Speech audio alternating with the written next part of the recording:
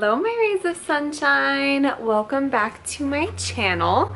So right now I have a little bit before baby boy wakes up and I figured I would give you guys my labor and delivery story slash an update on what is going on in my life. I first want to start off on a more serious note um, and just say with everything going on in the world right now, um, there's just some things that I don't want to ignore and I can ignore.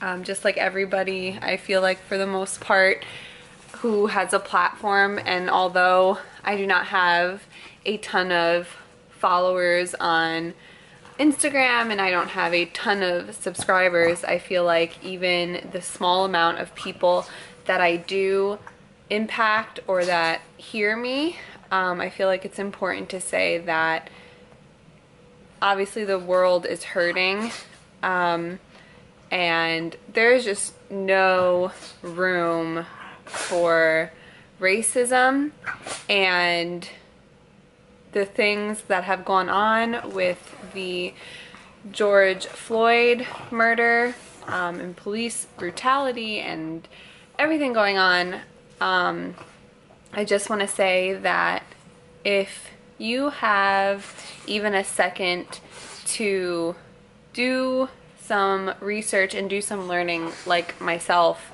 um, I kind of, not that I didn't pay attention to things like that happening and not that I ignored the fact that there was still racism in our world and that racism was still alive. Um, but I don't think I actually understood the magnitude of it. Um, so if you're like me and you kind of feel that way too, do some research, look into movements like Black Lives Matter, and obviously I am not black and I'm not a person of color, but um, my heart aches for the black community and just everything that they are going through and have gone through. I think the George Floyd case where you see with your own eyes something so tragic and unfair happening um, I think that was a wake-up call for a lot of people. And don't feel ashamed if that was your wake-up call. Like for me I'm here. I'm listening now. Um, yeah. So do what you can. Donate if you can to certain causes. Um, and just even if you have a second to just spread some love and spread kindness it only takes a minute to do something like that, to send a nice message to somebody. Um, there's just so much going on right now, and it's a crazy world, but this is our chance. Um, especially myself being a Christian, this is, I feel like, my opportunity to spread light and be an encouraging word and um, just being here for people who maybe I don't know in real life um, yeah. So I don't know if any of this is making sense. I just know that this situation, that this, everything going on in the world has been weighing heavy on my heart and I don't know if there's anything that I can say or whatever, but if I could just bring like the tiniest ounce of awareness to anybody who maybe doesn't really realize what's going on, um, I'd like to do that. So yeah, with that being said, I'm going to give you guys the rundown on my labor and delivery story. So if you guys want like an in-depth story time, I guess, then just keep watching. Okay, so first things first, I want to start off with, I guess, an update on what is going on in my life. Obviously, I just had a baby. Brandon and I welcomed our little boy, Emmett James, into the world and he is a little over a month old now which is so crazy to me that that already happened, but that's already been a month since I've had him. I think time is going by so fast, which is nuts. So um, I'm just like getting comfortable, sorry.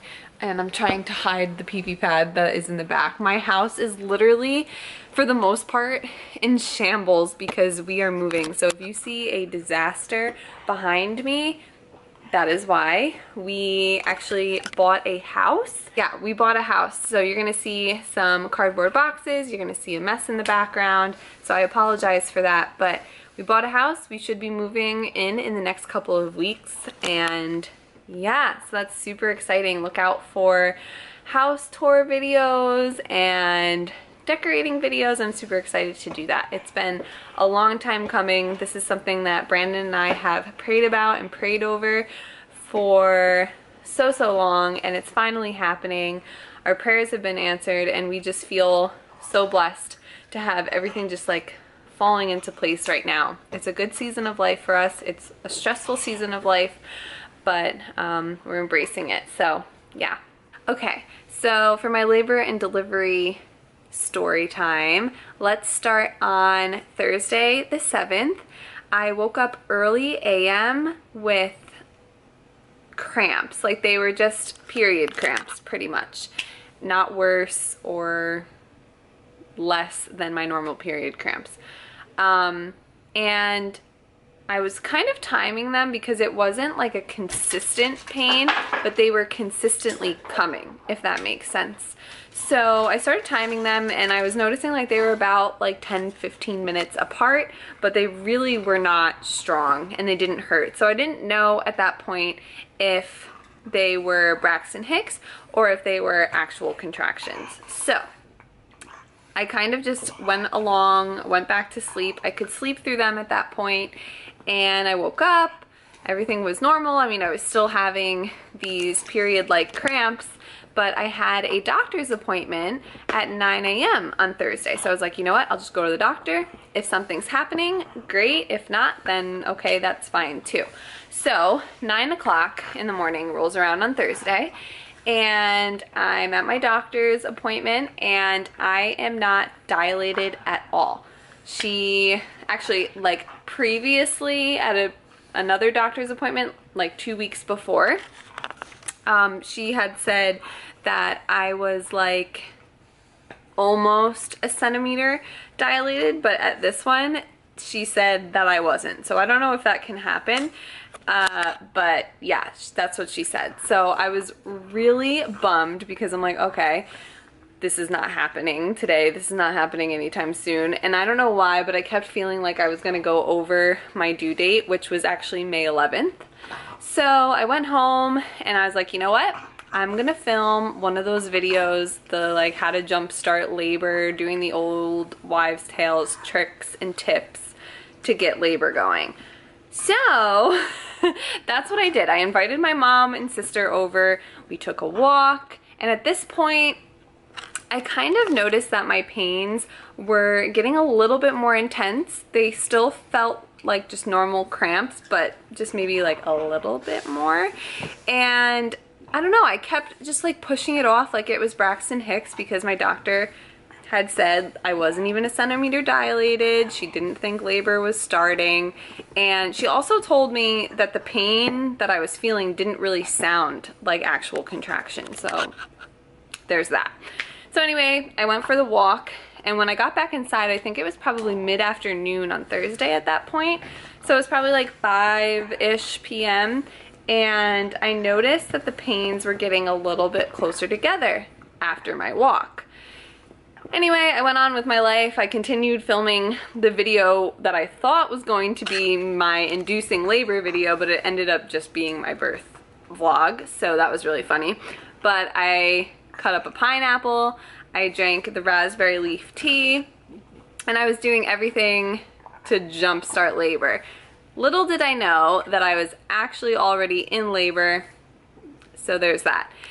So then at, I don't know, probably like 9, 10 p.m., they got significantly worse, the cramps that I was feeling. I could definitely tell that I was becoming more and more in pain and I kept tracking them on the app that I was using. I think it's just called Contractions. I'm pretty sure like everybody uses that one now.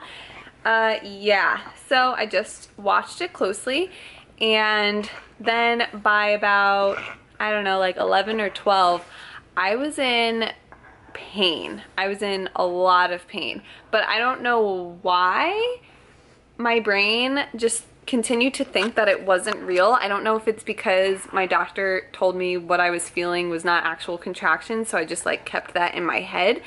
But now looking back, I wish that I knew what was happening only because I let Brandon sleep the entire night through and I didn't wake him up for help. And although that was really great because he was able to sleep and get a good night's rest, I feel like I definitely could have used his support during my labor. So then I think at like 1, 2 a.m., I'm noticing I'm getting zero sleep. I cannot find comfort in any position. I am getting up from laying down like every six or seven minutes and I'm in a lot of pain consistently.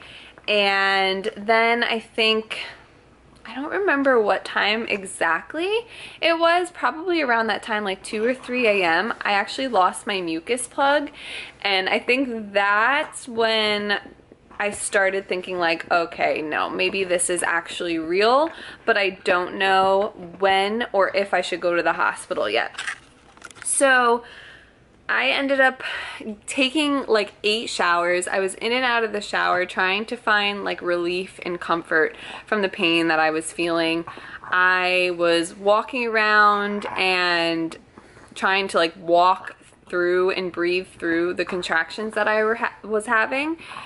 And it was just getting really, really intense. Again, all while Brandon is sleeping and I'm trying to like lay down, trying to sleep for like 10 minutes, but it was just not happening. So then around 4 a.m., I decided, you know what, this is getting really, really bad. I'm going to call the hospital or call the on-call doctor and see what they have to say. So I called and the doctor ended up calling me back within like 10 minutes but she had an emergency C-section to do so she told me to call the labor and delivery portion of the hospital. Ward? Do you say ward? I'm not really sure. So that's what i did and the nurse that answered ended up saying basically like it didn't sound like i was too far along and this was also my first baby so it's better to just stay at home versus coming to the hospital because that's like the last place that you want to be is basically what she said to me so i was like okay, let me continue to go through all of this pain. My mucus plug had come out at this time. And again, I was in so much pain that I did not even sleep, I think, longer than five minutes at a time. So then, sorry, somebody like just pulled up outside of our apartment. So I'm like, who is that?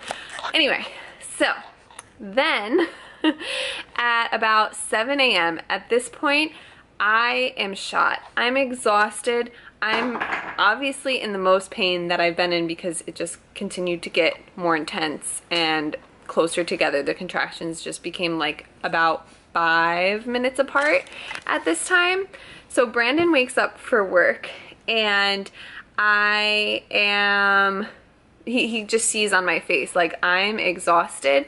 I'm spent, I, I don't even know. I probably looked like a hot mess. And he's like, Allyssa, you are in labor. You need to go to the hospital. Like, we need to go. And I'm like, I don't know. I don't know if this is real. My doctor yesterday said that it wouldn't feel like this, but like I really hope it is because I'm in so much pain. Like I don't know how much more I can handle. Like if this isn't labor and what I'm feeling is just like Braxton Hicks, I don't know how I'm to survive labor. This is this was literally my train of thought. So I then call the on-call doctor and I tell her, I'm like, hey, listen, I haven't slept at all. This has been like the most miserable night. I'm in so much pain. I think I'm gonna come in and get checked. And she's like, yep, if that's what you wanna do, then come on in. And like, again, no urgency. She sounds like so I don't know, like nonchalant and like not really concerned or I don't know. So we pack up. This was around, yeah, like 7 a.m. I get everything together. I call my mom. I'm like, listen, I didn't sleep at all last night. We're going to the hospital. So on our way to the hospital, I'm just, I remember telling Brandon, like, I'm to be so upset if I get there and I have not progressed at all. I feel like at this point I'm like I'm probably only like two centimeters dilated. I'm gonna be really like disappointed in myself because I don't want to labor in the hospital. I really do want to be home, but again, I'm in so much pain. I don't know how long that I could possibly do this without getting an epidural. So obviously COVID is going on right now and Brandon had to drop me off at the door and I had to walk in by myself and that was really scary and just I don't know kind of depressing. But I do know that I am pretty lucky because some women were not even able to have their husbands or partners whatever with them during labor during this time. So at least he was able to come in eventually. So I walk upstairs I get to where I need to be the front desk and they are like, okay, well, like, let's get you checked. And then if you do get admitted, then your husband can come up and blah, blah, blah. So they have me change into a robe and everything like that. I sit down on the bed and the nurse starts checking everything and going over everything and she checks me and she's like um you're at a seven like seven centimeters to eight centimeters dilated. And i literally looked at her and i was like you're joking. She's like no. And then later on she ended up saying like how she thought i was only going to be at like a two or three with the way that i was just acting. Like i wasn't acting like i was in that much pain i guess but i was so they end up admitting me obviously right away because if you don't know, you only have to get to 10, well not only, but you have to get to 10 centimeters in order to start pushing. And I was at a seven-ish, eight. So they admit me, Brandon comes up with all of our stuff and they finally get me on an epidural, which I have to say was not as scary as I thought it was going to be. I feel like I hear some horror stories about like the pain, but it didn't hurt. And I don't know if it didn't hurt because of how much pain I was already in or if it just didn't really hurt. It just kind of felt like a normal needle. I do know that they're huge, but I did not look at the size of the needle. I feel like that wouldn't have been very smart of me to do. So I just faced the nurse and you have to hold really, really still. You can't move and then they do the epidural. So instantly I started feeling so much relief.